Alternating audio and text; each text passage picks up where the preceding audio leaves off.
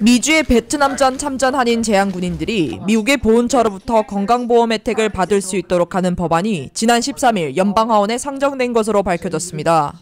빌 시스네로스 39지구 연방하원 의원이 상정한 이 법안은 1965년 베트남전에 참전했던 미주의 한인 재향 군인에게도 미국의 재향 군인 보험이 적용돼야 한다는 내용을 담고 있습니다.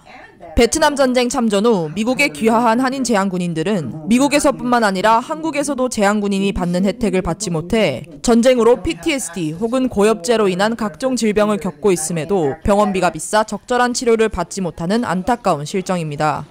23일 LA 한인회를 방문해 법안 설명회를 가진 길 시스네로스 연방하원 의원은 의료보험은 미주 한인 제한군인이 마땅히 받아야 할 권리라며 본 법안을 최대한 빨리 추진하겠다고 밝혔습니다. Uh, with this bill, it's never too late.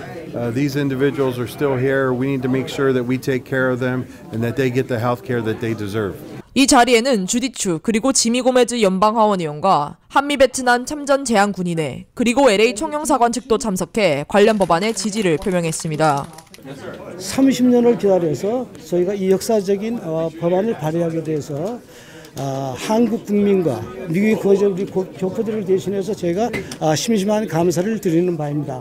앞으로도 아, 우리가 이 법안이 성공적으로 통과할 수 있고 아, 국가적인 차원이나 교민 차원이나 우리 월남 참전 자, 차원에서 여러분들의 많은 적극적인 지원을 간곡히 부탁드립니다.